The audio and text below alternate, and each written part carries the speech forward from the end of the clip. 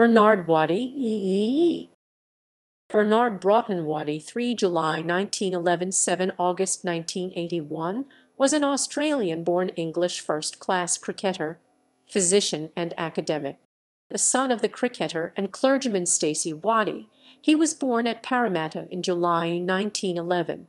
He moved to England with his family as a child and was educated at Marlborough College before going up to Balliol College Oxford. While studying at Oxford, he played first-class cricket for Oxford University in 1932, making two appearances against Leicestershire and Yorkshire. He scored 11 runs and took three wickets for Oxford.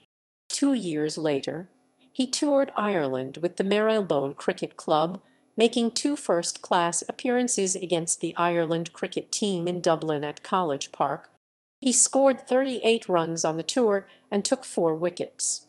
After graduating from Oxford, Waddy became a medical doctor, having trained at King's College Hospital.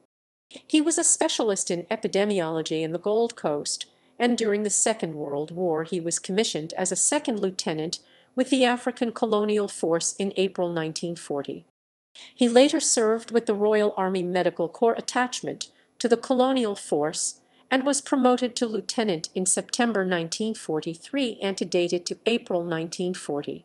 Following the war, he moved into lecturing on the subject of tropical diseases and was said to have been interested in any disease communicable on a large scale.